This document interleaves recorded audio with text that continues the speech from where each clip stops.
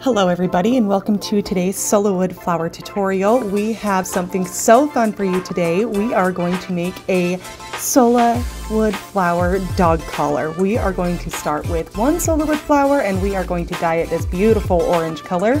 It's really going to pop on our little puppy that we have as our model today. You can go ahead and stem your flower and dip it into your dye and swirl it around. Make sure all of the petals are coated with that dye. You want to make sure that you don't have any splotchiness or any white parts of the flower showing through. We just have a piece of burlap here and we are going to add a little bit of glue, stick it right to that burlap. Press it on there, make sure that glue dries and that your Sola wood flower is attached nicely. Just with a hole punch, we are going to punch a hole into this piece of burlap here.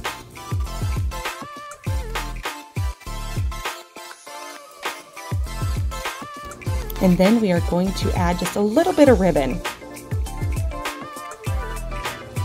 This is going to make it so we can easily attach it to our cute little puppy.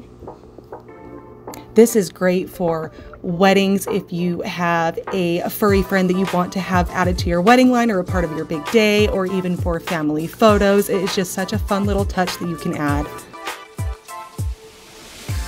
Now we have our ribbon attached on both sides and we are just tying it in a cute little bow onto our cute little puppy here. This is such a fun thing to do for pictures or whatever you would like to use. Thank you for joining us today and happy crafting!